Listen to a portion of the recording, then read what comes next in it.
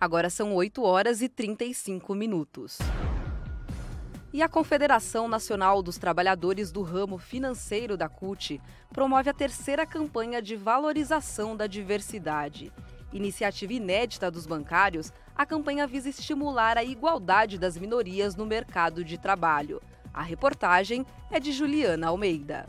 A campanha de valorização da diversidade é uma conquista dos bancários e nasceu nas mesas de negociação com a Federação Brasileira dos Bancos, FEBRABAN. O objetivo da iniciativa é promover a equidade e a igualdade de oportunidades no mercado de trabalho bancário para todas as pessoas. Faz parte da campanha deste ano o Censo da Diversidade, que chega à sua terceira edição, e a criação do Agente da Diversidade para combater a discriminação.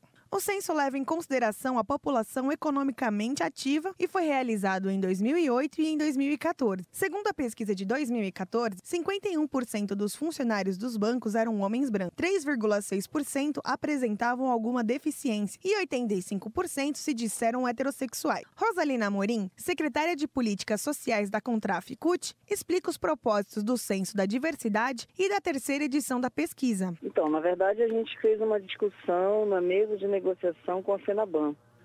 E aí a chamada mesa de igualdade de oportunidades, onde estava sendo discutido a realização do terceiro censo da diversidade, que é a pesquisa na categoria bancária é, do mapa, né, de como é a categoria bancária, quantas mulheres, né, qual a quantidade de LGBT, pessoas negras, pessoas com deficiência.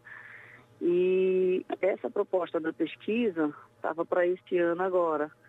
E somando a, essa pesquisa, veio a proposta de ser realizada o, o, agente, ser criado o agente da diversidade também, que é, é a figura que vai dialogar com a, a, categoria, com os clientes a respeito desses temas que a gente tem é, dentro dessa campanha da diversidade. Rosalina comenta que o censo leva em consideração os Objetivos de Desenvolvimento Sustentável da ONU para 2030. Um deles é a igualdade de gênero. Sim, sim, com certeza. Na verdade, a gente tem esse debate né, dentro da categoria já há um bom tempo, que a gente vem trabalhando desde os anos 2000.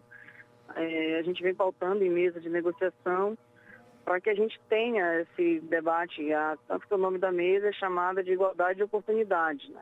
Então, para além do número de é, gênero que a gente tem, que a oportunidade também seja na mesma linha, né? que cargos de direção também sejam ocupados por mulheres, gerentes, é, diretoras e, também é, onde a gente tem a figura da presidente do banco também dentro da categoria que a gente tem essa oportunidade para os dois gêneros.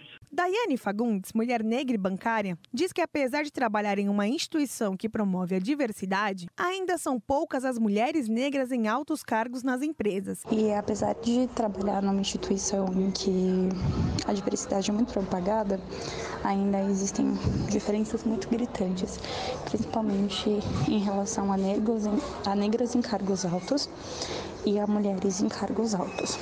Então, na divisão das equipes, as mulheres chegam em cargos de liderança a nível coordenador em grande número, mas quando você sobe a hierarquia a nível gerente, superintendente e vice-presidentes, esse número cai drasticamente.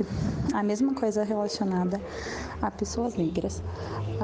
além de ser minorias nas, nas equipes comuns, como analistas, coordenadores e tudo mais, principalmente quando a gente sobe a hierarquia, é muito escasso a representatividade negra nesses cargos. Além de outros fatores como a discriminação em funções por você ser mulher ou por você ter uma formação a mais que, que um homem que, que desempenha o mesmo serviço que você a questão de você ser menosprezada ou de não ter uma opinião ouvida por ser mulher ainda é muito presente, principalmente na área em que eu trabalho. Portador de deficiência motora nos braços e nas pernas devido à poliomielite na infância, João Pires foi durante 20 anos caixa de banco. Segundo ele, a presença de pessoas com algum tipo de deficiência nos bancos ainda é baixa e em cargos de pouca relevância. Dentro da, da daquilo que o banco oferece, dentro do do que a, a lei né, de cotas meio que obriga os, uh, o sistema a contratar pessoas com deficiência, eh, eles são colocados em cargos menores, né? Eh, na parte do atendimento, na parte de, de caixa mesmo, né? Então, é, é me, meio que assim, mais para cumprir a, a, a lei né, da, da cota do que né, uma, uma uma valorização mesmo da pessoa com deficiência. Né? Apesar de não ter sofrido preconceito, João diz que as empresas devem promover ambientes igualitários para que os trabalhadores com deficiência não sejam discriminados. No meu caso, especificamente, não, assim, não diretamente, né?